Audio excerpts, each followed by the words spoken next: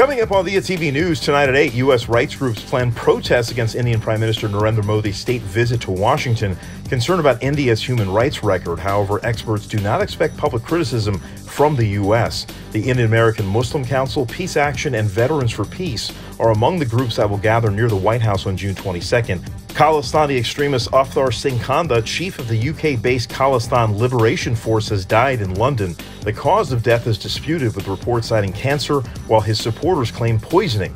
Khanda was involved in anti India activities. He radicalized and trained youth in extremist ideology. And Nusrat Choudhury made history as the first Muslim female judge and the first judge of Bangladeshi descent in the U.S. A former legal director of the ACLU in Illinois, Choudhury was confirmed as a U.S. District Court judge for the Eastern District of New York. Those stories, all the news tonight at 8. Join us.